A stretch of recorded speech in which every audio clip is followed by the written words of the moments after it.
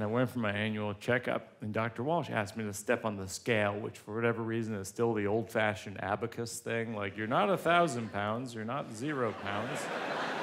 You're not 970 pounds, you're not 21 pounds, you're not 662 pounds, you're not 58 pounds, you're not 411 pounds, you're not 117 pounds. I'm like, what time is it?